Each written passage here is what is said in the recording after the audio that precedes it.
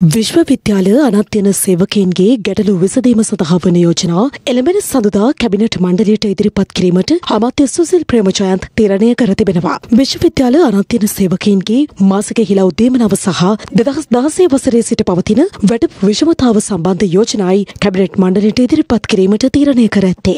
වැටප් විෂමතාව ඇතුළු ඉල්ලීම් කිහිපයක් මුල් කර ගනිමින් විශ්වවිද්‍යාල අනත්‍යන සේවකින් ආරම්භ කළ වර්ජනය අද නවවන දිනටත් ක්‍රියාත්මකයි. සිය ගැටලු සඳහා සඳුදාත් විසඳුම් ලැබුණේ නැත්නම් වර්ෂණය දිගටම ක්‍රාත්මක කරන බව විශ්වවිද්‍යාල වෘත්තීය සමිතිය පවසනවා. අමාත්‍ය මණ්ඩල සංදේශයන් එළමෙන සමුදා අමාත්‍ය මණ්ඩලයේ යොමුබන බව අමාත්‍යවරයා අපට දැනුම් දීලා තියෙනවා. ඒ අනුව අපි බලාපොරොත්තු වෙනවා ඒ අමාත්‍ය මණ්ඩල රැස්වීමේදී අපට යහපත් අධිකාරියක් ලැබේ කියලා. එසේ නොලැබුණොත් විශ්වවිද්‍යාල පද්ධතියේ මේ ක්‍රියාත්මක අඛණ්ඩ වෘත්තීය ක්‍රියාමාර්ගය අපි අඛණ්ඩව දිගටම ක්‍රියාත්මක කරනවා.